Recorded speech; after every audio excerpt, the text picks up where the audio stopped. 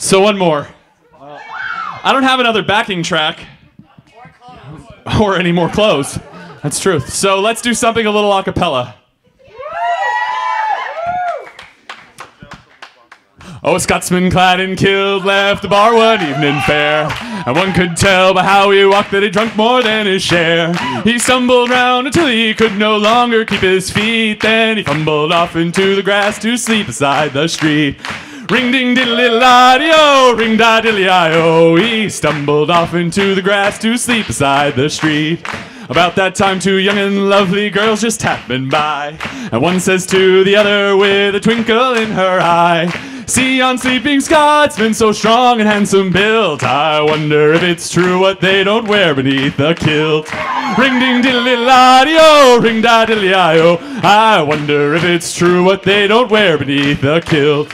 They crept up on the sleeping Scotsman quiet as could be, and lifted up his kilt about an inch so they could see.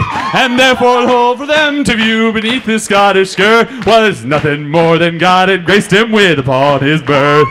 Ring ding diddly laddy o, ring da was nothing more than God had graced him with upon his birth.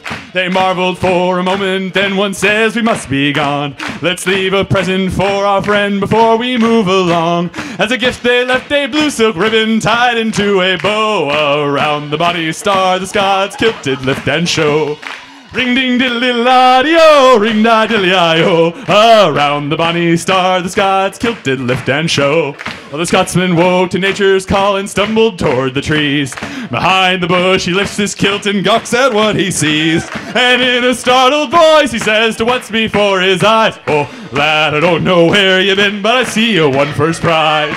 Ring ding diddly laddy o, ring da diddly o. Oh lad, I don't know where you've been, but I see you won first prize.